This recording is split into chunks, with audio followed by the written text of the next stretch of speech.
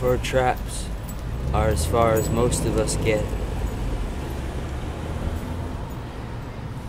The extent to which our heads could branch out to climb the walls of God, the walls which are planted like trees,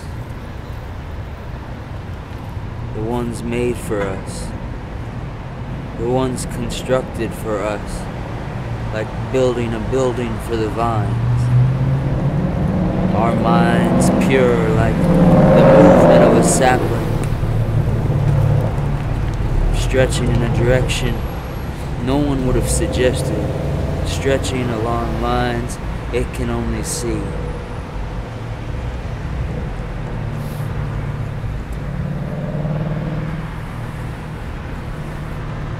Joy, which comes from seeing the path drawn,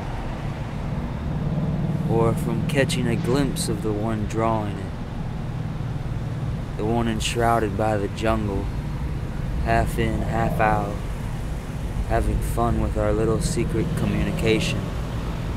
Communication that occurs in the face of modern technology. On wavelengths so natural, wavelengths that have been there on a much greater scale than the largest of our networks from the beginning. Fur traps are as far as most of us get.